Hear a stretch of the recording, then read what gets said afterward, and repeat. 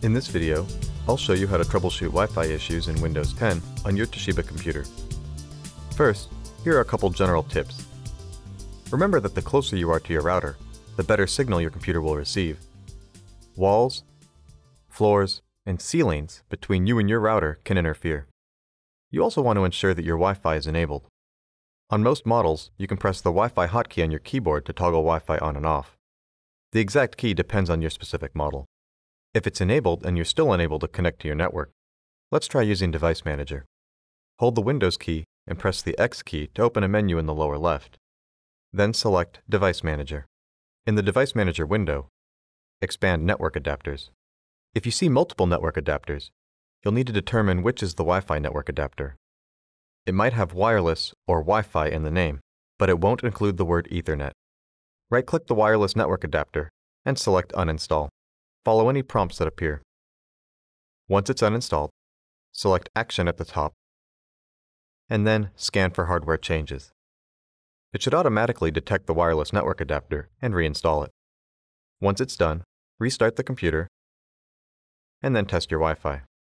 If it's not working now, we'll try updating the driver. Open Device Manager again like you did earlier. Right-click on your Wi-Fi network adapter and select Properties.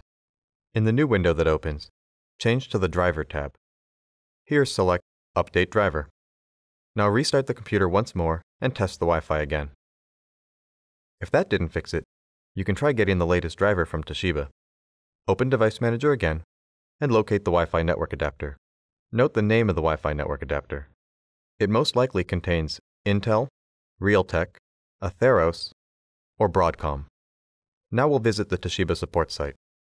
If your computer can't connect to the internet at all, you might need to do this from another computer and transfer the driver later. Visit support.toshiba.com. Now click Drivers and Software at the right.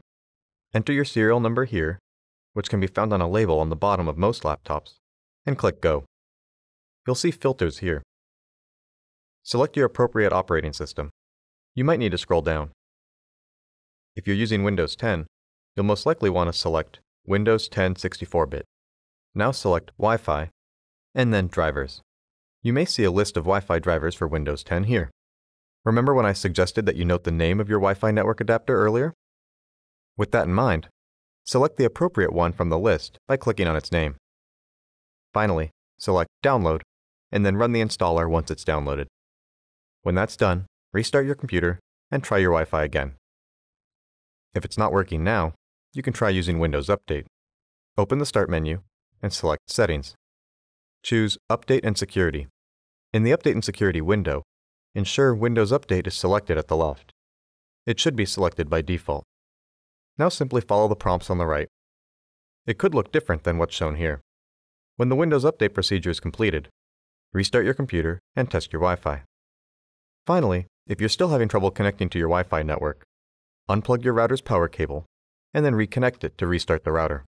Wait a few minutes before trying again. I hope this helped you troubleshoot your Wi-Fi on your Toshiba computer. For more information, visit support.toshiba.com.